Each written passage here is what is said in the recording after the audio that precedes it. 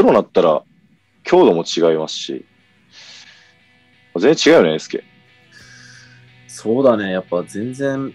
違うね。大学の時と体質も変わったし、うん。うん。体重とかもやっぱ変わったし、大学の時はね、とりあえず体筋肉つけて強くすりゃいいと思ってたけど、そうじゃないし、うん。お互いプロになられて、まあもう何年ですか？8年年目目っすね。もう、そうっすね。僕チームでも上って言ったら、一番上、僕の2つ上なんで、もうずーっと連絡取り合っててずっと言ってたもんな。早くプロのピッチで試合したいっつって。だからちょっと残念なのはコロナでうん。ね、お世話になった人呼べなかったっていうのが、そうだよね。ずっと言ってたんだよね。コーチ、ね、呼びたいってね。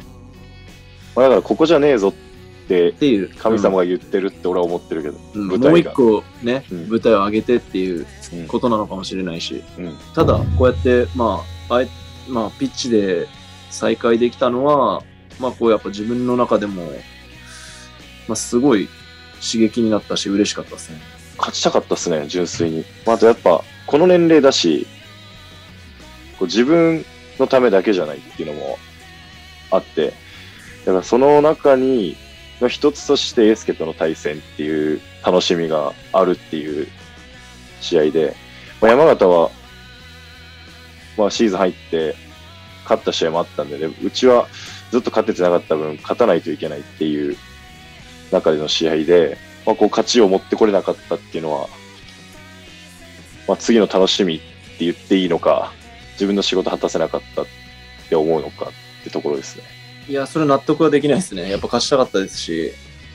まあ、やっぱチームとしても勝ちたかったですし、まあ、やっぱ個人としてもやっぱこう、健太郎との戦いっていうところでは、やっぱ勝負にいつも以上にこう熱が入るというか、違った意味で、やっぱこう気持ちの部分でも、まあ、なんか普段そんなこう、感情を表に出すようなプレイヤーではないんですけど、結構、なんていうのかな、自分からやってやろうやってやろうっていう気持ちはすごい強かったんで、まあ、引き分けたことは本当、まあ、悔しいっていうのがまあ正直な気持ちですかね。お互い試合出てたりしたらね、こう、どうだったとかこうだったとかね、プレーのことだったりとかもそうだし、あと他の、もう今、コーチやってるやつとかも交えて、ズームでキーパーの映像とか見ながら、うん、ミーティングしたりとかもしてたんで、うん、意見交換したりして、大津高校とは、はい。えー、大津高校とは、いや、やっぱ、サッカー選手として、以前にやっぱ人として成長させてもらえた場所ですかね。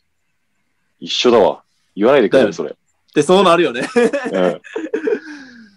うん。もう、でも、人間として、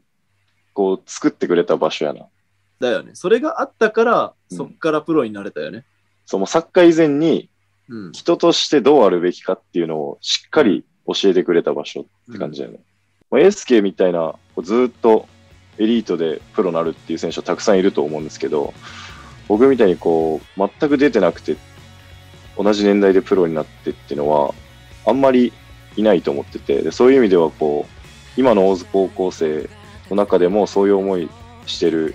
選手もいると思ってて、まあただ僕がこう頑張り続けることで、その子たちのモチベーションにもなるかなっていうので、まあこの対談をきっかけに、大津高校のキーパーたち、それ以外のポジションの子たちも、俺もまだ可能性あるなって思ってもらえればいいなっていうのは思ってます。で、ちょっと砕けた感じで言うとどんな感じになりますか？大津高校とは。地獄ですね。地獄でした。過去形です。今は多分もうそんなことないと思います。いや、今ないよ。俺びっくりしちゃうもん、練習見に行って。そういうのはね、ね後輩とのせ上下関係もだいぶね、緩くなってるみたいだし。もう先生と座ったまま話してるの見て、俺焦ったもん。お前殺されるぞと思って見てたら大丈夫。